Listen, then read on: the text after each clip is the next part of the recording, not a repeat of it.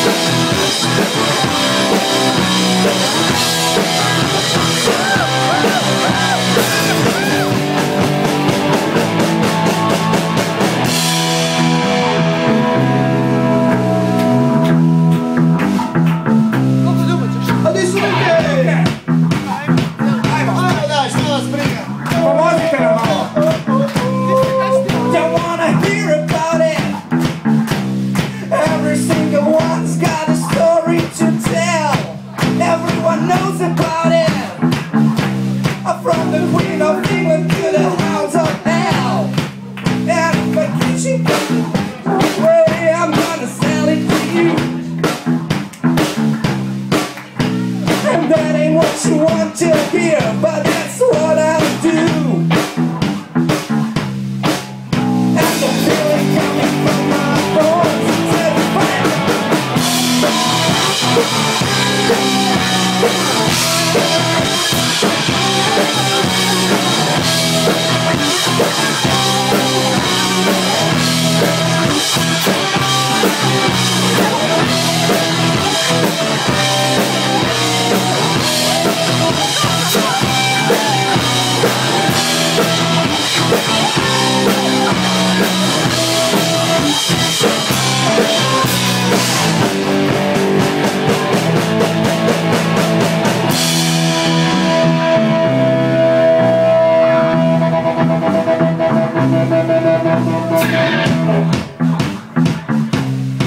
Volio bi vas sad čuti da svi zapjevate skupa s nama u ovom stilu.